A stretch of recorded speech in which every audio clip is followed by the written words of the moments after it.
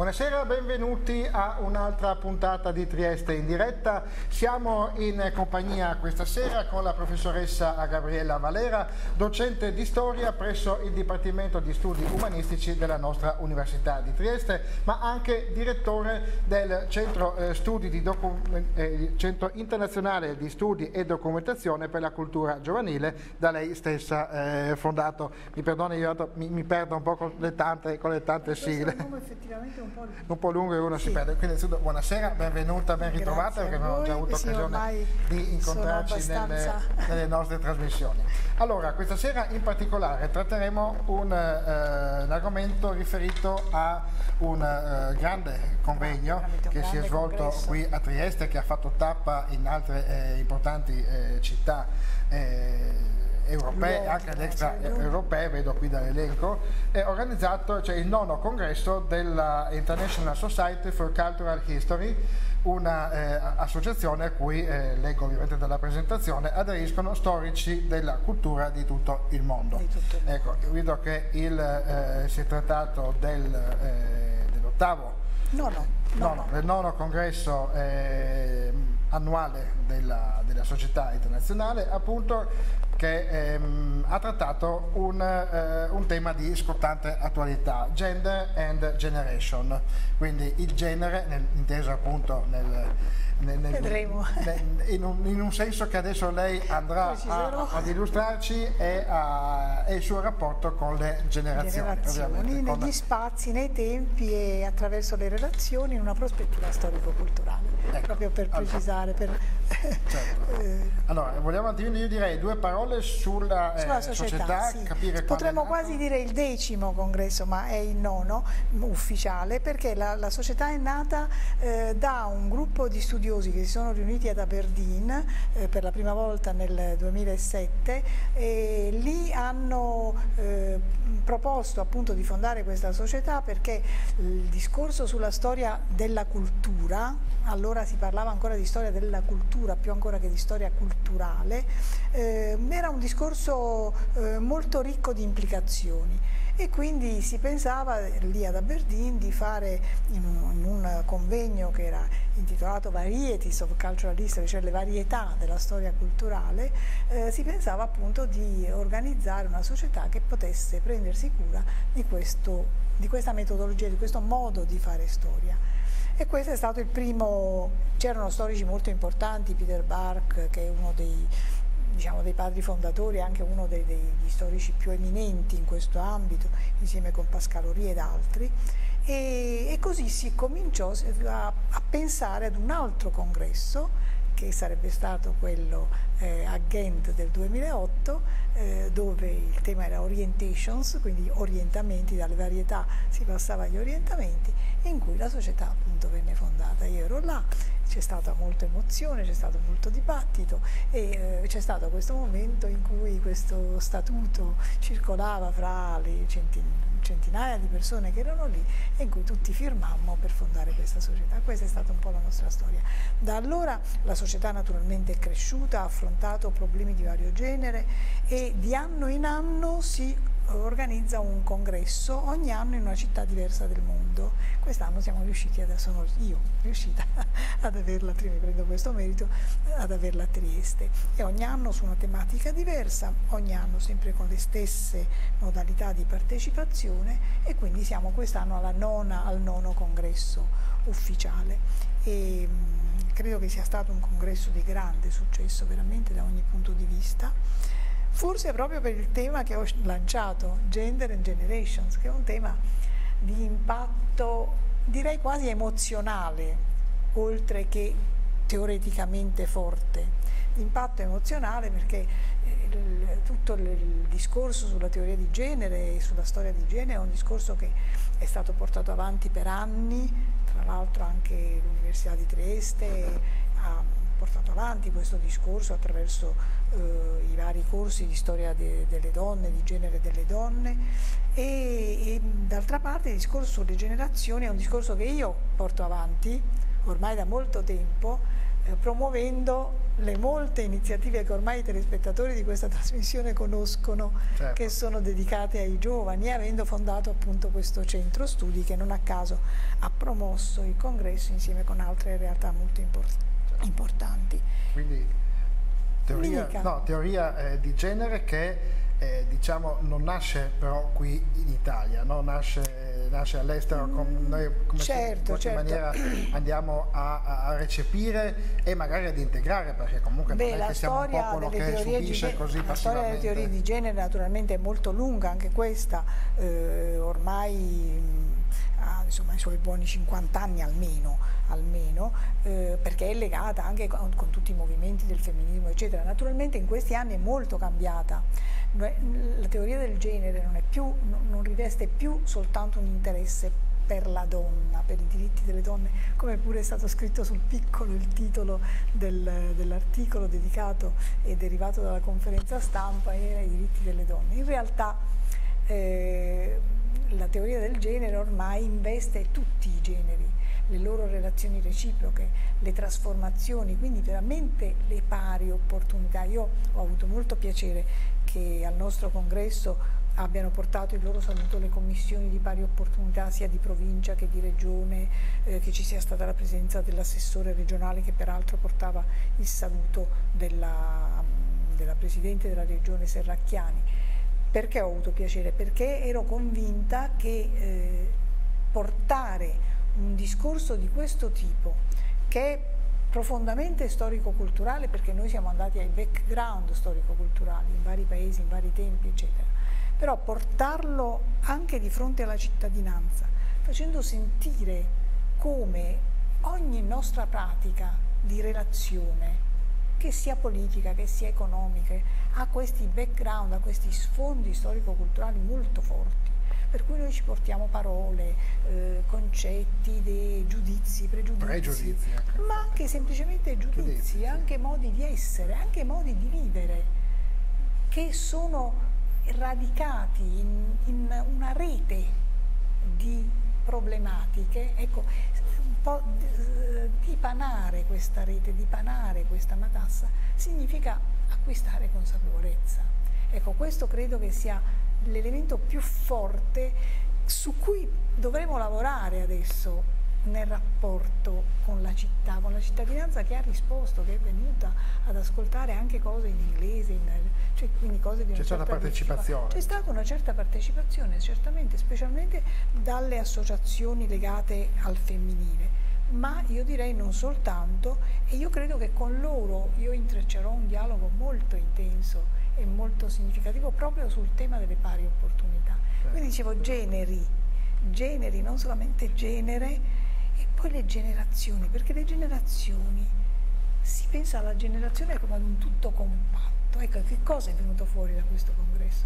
Che le generazioni non sono compatte, sono segmentate, perché il modo in cui il femminile, il maschile, il gay si accomoda, voglio dire, si prende forma dentro un segmento di tempo che potrebbe essere disegnato dalla generazione è diverso, perché diverse sono le emozioni, diverse le sono le sensibilità, gli stimoli. gli stimoli, le forme di educazione, i rapporti eh, tra le varie eh, tra, tra, tra, i vari soggetti del sociale, i rapporti col lavoro. Quindi parlare di generazione, non a caso abbiamo messo generations al plurale, parlare di generazione in senso generale, ecco, decostruire, come noi usiamo dire, cioè ehm, rendere, ehm, risolvere queste categorie generali, risolvere queste categorie generali nelle loro componenti storiche che vengono da diverse realtà, da diverse cose, significa acquistare consapevolezza, consapevolezza della soggettività. Ecco, ma in quest'ottica c'è anche un fine sociale, se vogliamo, perché eh, la mia domanda è questa, la teoria di genere spiega eh, come e analizza come eh, il pensiero, diciamo, la sensibilità, i ruoli sociali si sono sviluppati nell'arco dei decenni, dei secoli se vogliamo, perché guardate anche a Milero, guardate anche a Montevideo, certo. nei due ruoli, maschile e femminile, insomma certo. magari lasciamo un attimino da parte poi quelli che sono i ruoli che, vengono, che sono emersi in maniera così più eh, conclamata perché anche la società forse ha avuto quell'evoluzione, si è in qualche maniera... Eh, conse consapevolizzata certo, che esistono evidente, anche certo, altre certo, espressioni altre. di carattere appunto così eh, di orientamento sessuale che sono diverse da quelle chiamiamole certo, tradizionali. Bene, no? Però eh, la teoria di genere in qualche maniera ha la finalità di uniformare poi il sentire eh, perché bene. la pari opportunità deriva anche dal fatto che io, in parliamo dell'Italia, no? al centro, al nord e al sud ho una stessa eh, considerazione dell'altro, che può essere uomo e donna, e non vado a certo. guardare in particolare la, la, la, il genere femminile, e da questo deriva poi anche la pari opportunità nella vita certo, sociale. Certo, allora noi dobbiamo, due, eh, dobbiamo riconoscere due piani diversi di lavoro che però possono aiutarsi reciprocamente. Allora c'è il piano del, istituzionale, delle istituzioni che ha il compito di organizzare secondo eh, schemi, secondo appunto, opportunità, secondo eh, filoni giuridici di un certo tipo, i diritti, eccetera. E poi c'è un piano invece che ha il compito di rimettere al centro non questa parte istituzionalizzata, ma la parte meno istituzionalizzata. Allora le opportunità cambiano, il concetto di pari cambia e quindi e questi due eh, piani devono naturalmente confrontarsi continuamente. Le faccio un po' di esempio dei materiali, non dai materiali, ma proprio dallo schema utilizzato per eh, mettere insieme testi che venivano appunto da studiosi che si occupano di cose molto molto diverse ma sempre in questo grande ambito.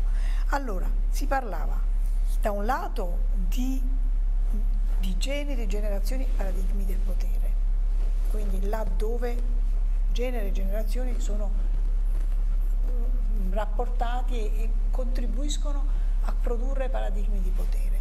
Dall'altro lato si parlava di pratiche di ogni giorno, ruoli, istituzioni in rapporto al valore, al lavoro.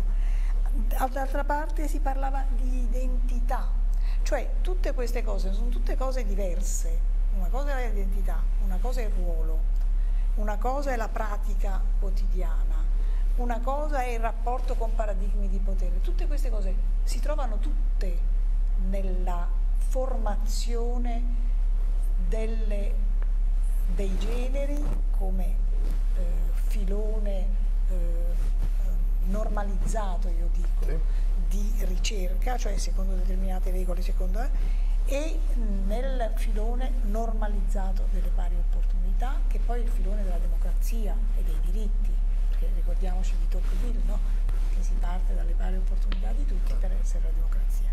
Ecco, tutte si trovano insieme, però sono tutte cose diverse. Allora, appunto spacchettando, diceva lei, ma mettendo, proprio decostruendo, cercando di riportare il tutto alla, ecco qui, alla storia culturale. Cosa significa storia culturale? Non tanto storia delle culture, perché storia delle culture era un'altra cosa, era qua c'è la cultura, noi apparteniamo ad una certa cultura, quindi studiamo la cultura a cui apparteniamo. Invece questa storia culturale cosa vuole fare? Vuole riconoscere le persone e le mo loro modalità di entrare e di portare idee, emozioni, diritti. Ma sono eh, condizionate dalla cultura in cui sono cresciute. Condizionate, condizionate ma anche, ma anche, in relazione, cioè noi se andiamo veramente, poi c'è tutto un discorso sul micro e sul macro, cioè se fare una storia proprio di piccole eh, realtà o di grandi realtà, ma questo non voglio metterlo perché è un discorso troppo complicato da fare in questo momento e non, non, non aiuterebbe. Io uso sempre la formulazione eh, di un altro collega americano che mi è piaciuto molto, Ehm, che è la formulazione di corpi in movimento.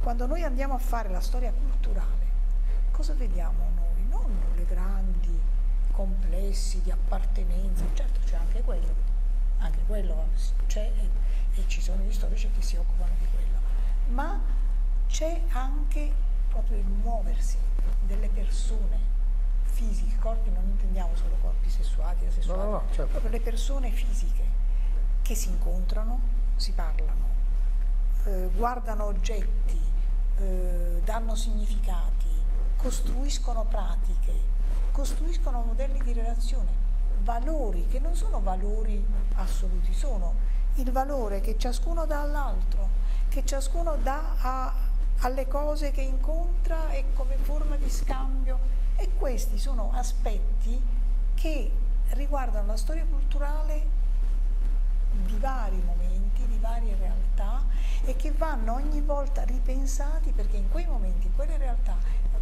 allora succedono altre cose, succede che ci siano intorno a questo dei paradigmi di potere che si costruiscono, dei ruoli, oppure delle forme di liberazione dai ruoli, delle emozioni.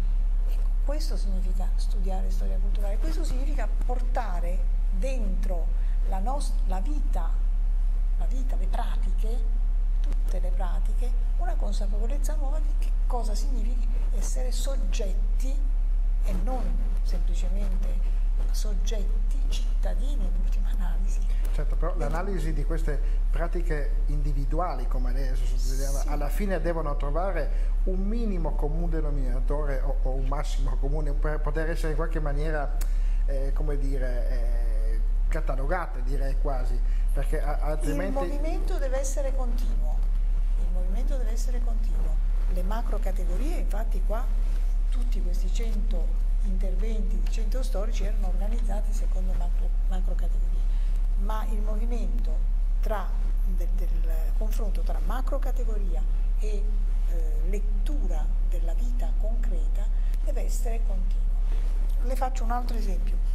Noi siamo abituati a studiare eh, o a pensare, diciamo in generale, chi ha cultura politica o istituzionale, eccetera, è abituato a pensare a singoli autori, io stessa, prima di diventare una storica della cultura, sono stata più che altro una storica del pensiero politico e della storia politica e della storiografia politica, eh, a eh, lavorare su singoli autori esclusivamente dal punto di vista di una tradizione disciplinare. Allora, c'è il pensiero politico, ci sono tanti pensatori che costituiscono una tradizione, troviamo dei linguaggi, questi linguaggi li ripercorriamo tutti, eccetera. Se riprendiamo, come ho fatto io proprio quest'anno, anche adesso in dialogo con un collega che ho incontrato al congresso, riprendiamo questi autori e li riprendiamo non più soltanto dal punto di vista della tradizione disciplinare, ma dal punto di vista del loro modo di essere dentro una pratica. Eh, dentro un'università, dentro un, un, insieme di... Eh, il microfono dovrebbe andare così perché finisce di i telespettatori. Non, non sento niente. Eh, no, no, no, Me lo tengo così? Ma, se, sì, Ma vabbè, sì, se, dai. Se, evitiamo di che perdano eh, qualche frase che poi è peccato perché poi il ragionamento non, non viene seguito come dovrebbe. Invece eh, utilizziamo, rileggiamo questi autori come espressione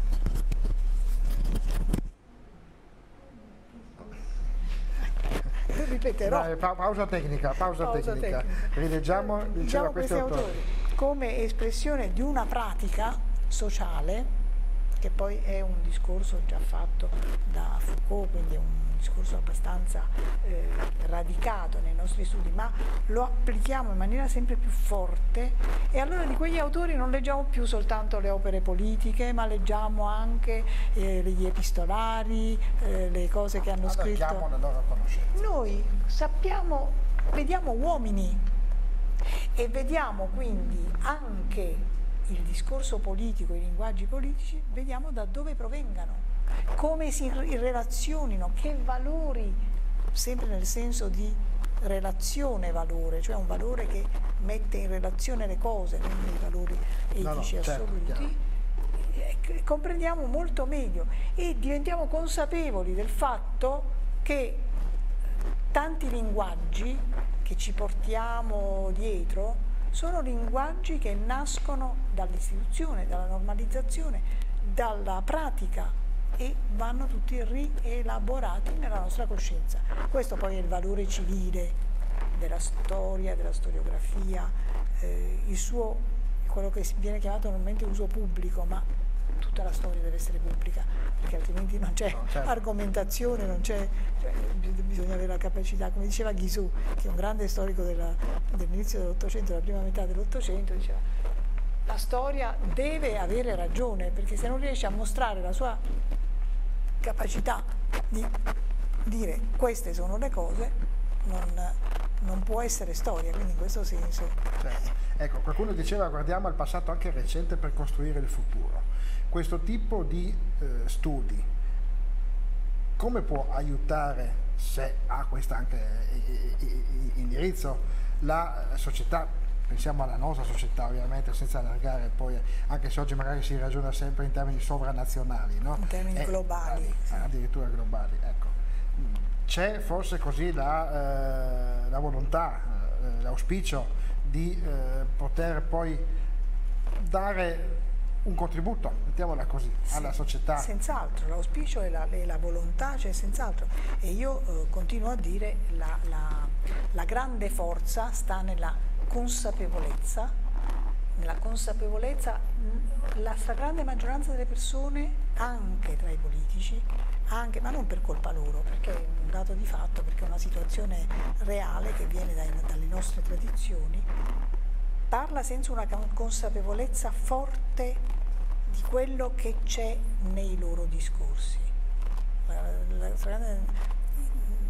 Quindi ritrovare questa consapevolezza è estremamente importante.